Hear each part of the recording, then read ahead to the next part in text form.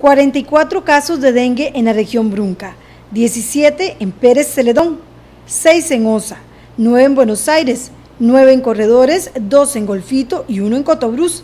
Así están los casos de dengue en la zona sur de nuestro país. Por esa razón, en el Ministerio de Salud no bajan la guardia y se mantienen en constante control. El Aedes aegypti es el principal vector del dengue. En el control del mosquito se utilizan insecticidas químicos contra los cuales ha desarrollado resistencia.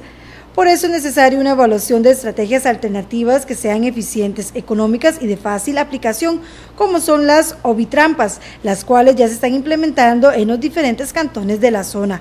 Es importante hacerle el llamado a la población de que mantengan libres de criaderos sus hogares, de que en los trabajos estén ¿verdad? pendientes de que no hayan criaderos. Nosotros como ministerio eh, estamos este año con una nueva estrategia, son unas ovitrampas, son son una especie de lugares donde llegan a poner las hembras de los mosquitos, ¿verdad? Eso se revisa todas las semanas para ser más minuciosos y más acuciosos en nuestro trabajo de eliminación de criaderos y poder trabajar sobre las zonas donde hay más presencia del, del vector. Esta iniciativa se está desarrollando este año en coordinación con el equipo de vigilancia. Las estamos ubicando en todos los cantones. Está pendiente la parte de Paso Canoas, pero ya para la próxima semana las estamos ubicando.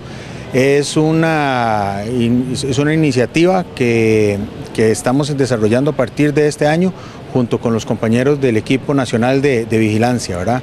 Esto se lleva georreferenciado, entonces ahí se llevan los datos semana a semana, donde hay presencia del vector, donde puede ser que haya mosquitos de otra especie, pero no precisamente que transmite dengue, zika, ¿verdad? chikungunya, malaria.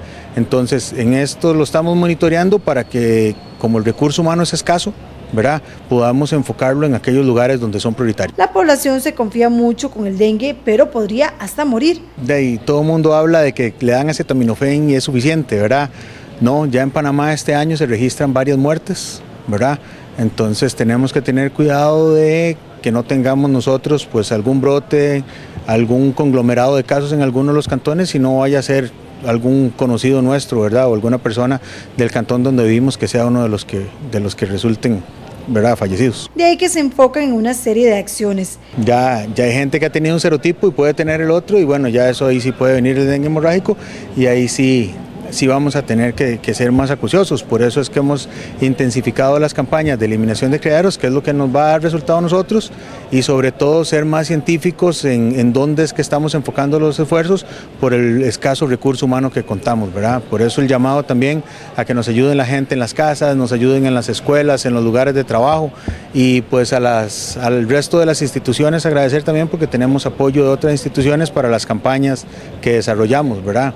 Eso también ayuda a eliminar ese vector. Las autoridades piden a la población eliminar los criaderos para evitar más casos.